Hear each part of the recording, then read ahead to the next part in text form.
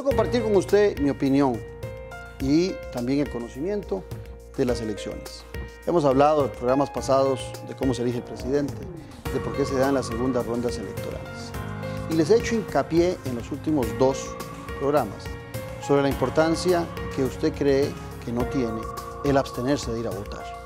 O la importancia que tiene cuando usted vota en nulo o cuando usted eh, vota en blanco.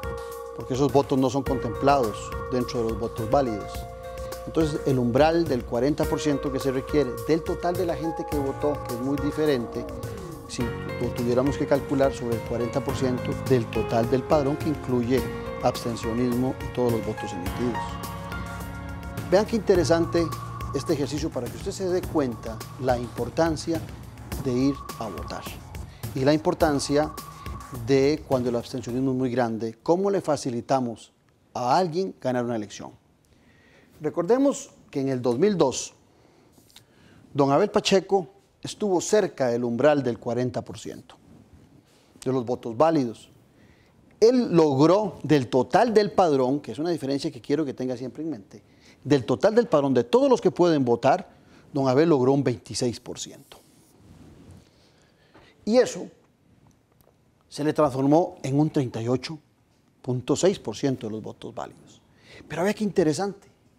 Cuatro años después, del total del padrón electoral, el presidente Oscar Arias logra un 26% de los votos del total del padrón electoral.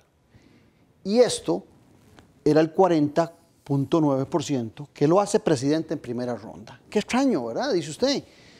Los dos tuvieron un 26% del total del padrón.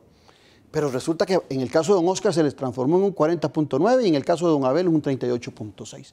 ¿Sabe quién ayudó a don Oscar Arias a ganar en el año 2006 y no ir a una segunda ronda electoral? Los que se abstuvieron de votar.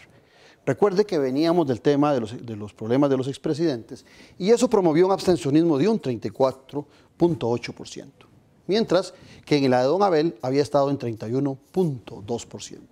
Esa diferencia de más de 3 puntos, de 3.6, hizo que el umbral del 40% lo pudiera alcanzar don Oscar Arias con un porcentaje igual que el de don Abel de los votos del total del parón electoral que no le ayudaron a llegar al 40% de los votos válidos. Fue muy diferente en el 2014. En el 2014, el presidente Luis Guillermo Solís apenas logró del total de los votos del padrón electoral un 20 y pico por ciento, que se le transformaba de los votos válidos, que ya hemos hablado varias veces de los votos válidos, que no incluyen eh, ni los nulos ni los blancos, y que es la referencia que se hace para sacar también el abstencionismo. Apenas le alcanzó para un 30.65. Y en aquella ocasión, el candidato de Liberación Nacional, Johnny Araya, tuvo un poquito menos. Ambos quedaron muy, muy similares y fueron a una segunda ronda electoral y después vino eh, aquella fea imagen del retiro del candidato de Liberación Nacional que golpeó tanto a nuestro sistema y eh, a la democracia en, en general. Pero ¿qué es lo que le quiero plantear con esta idea?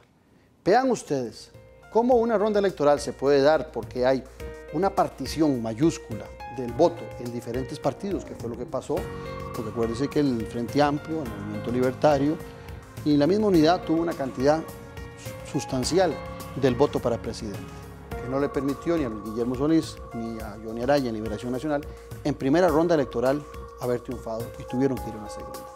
Pero en este otro caso, el abstencionismo le ayudó al presidente Oscar Arias a ganar las elecciones prácticamente con el mismo porcentaje de votos del total del padrón que tuvo don Abel Pacheco. La diferencia, ¿quién la marcó? El abstencionismo. Así que votar es importante. Esa es mi opinión.